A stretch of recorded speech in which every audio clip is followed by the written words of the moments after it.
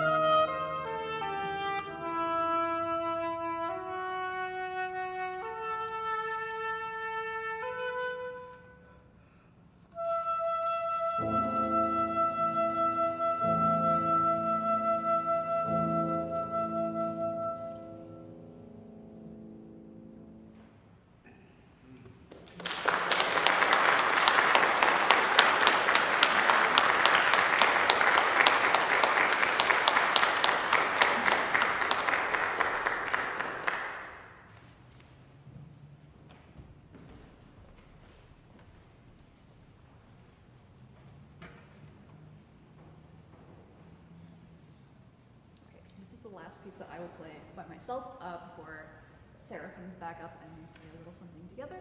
Um, this is a piece called the Grand Polonaise by Theobald Boehm. If you're a flute player, you might know that Boehm was the person who like made the modern flute what it is. Um, before this, you know, we played wooden flutes with sort of non-standardized mechanisms, um, and in the late 1800s, he figured this out, um, and we still play it now. So what he clearly was trying to do in this piece was show what his new flute could do. Um, so he sort of aims to show off what what uh, what his, his new flute could do.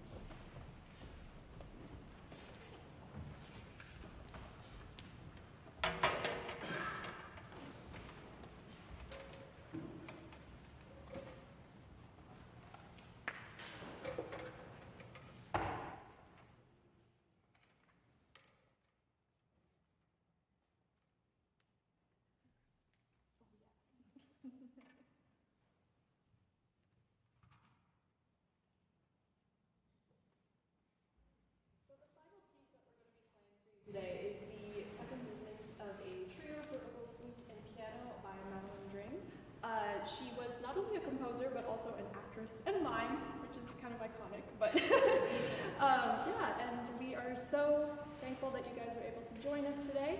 We'd also like to thank our pianist Andrew for playing all of these